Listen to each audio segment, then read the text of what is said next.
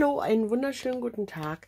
Ich habe hier zwei Karten, Weihnachtskarten zum selber basteln. Ja, das sind so eine Schiebekarten, lebendige Karten nennt der Händler sie auf seiner Seite auch. Die sind äh, total niedlich. Ich finde die richtig schön. Das ist von einer Seite die, äh, äh, von einer Karte, die Vorderseite, die vordere Ansicht und dann hat man hier ganz viel Material, um daraus eine richtige schöne Schiebekarte zu fertigen und um einen Gutschein zu verstecken. Das alles muss verbaut werden. Ich hoffe, ich habe noch nichts durcheinander gebracht. Ich glaube, ein Teil von dem, was hier in dieser Klappkarte drin ist, gehört hier mit dazu. Äh, wie auch immer, ich habe da noch allerhand zu tun. Ich will das für meine beiden Enkelkinder haben.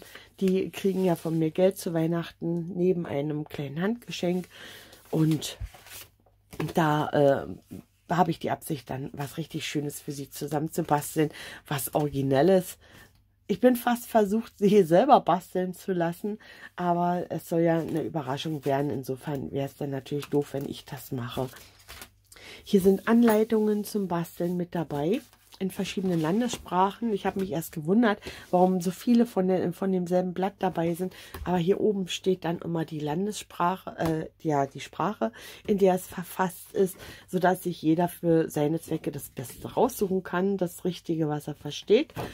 Und dann haben wir hier eine Schritt-für-Schritt-Anleitung. Für diejenigen, die das mit dem Lesen nicht so haben und dem Nacharbeiten, die lieber visuell sich anleiten lassen, ist auch ein YouTube-Angebot äh, da, wo man sich Step by Step die äh, Aufbauanleitung anschauen kann. Auf jeden Fall ist es was, was Spaß macht, was man auch aufbewahren kann, was langlebig ist und äh, ganz sicherlich auch großes Interesse weckt.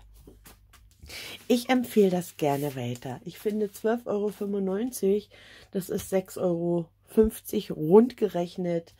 Ähm, nicht auf den Cent genau, ich weiß. Äh, rund gerechnet 6,50 Euro pro Stück. Finde ich absolut in Ordnung. Das war's von mir.